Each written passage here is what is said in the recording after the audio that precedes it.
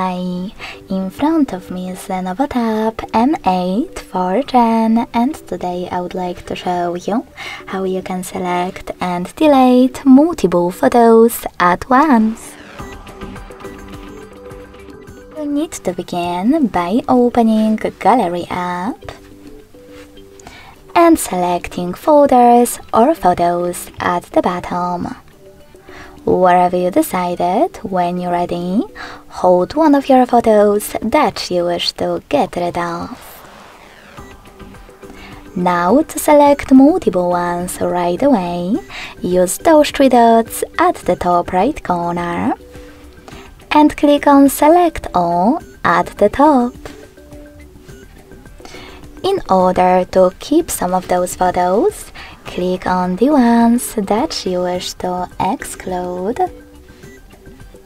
And to get rid of the rest, use this bin, also at the top right corner.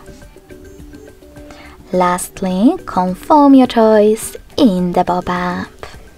So when I do that, as you can see, all of those photos were successfully deleted. Thanks so much for watching. If you enjoyed this video, don't forget to leave a like, comment and subscribe. Bye!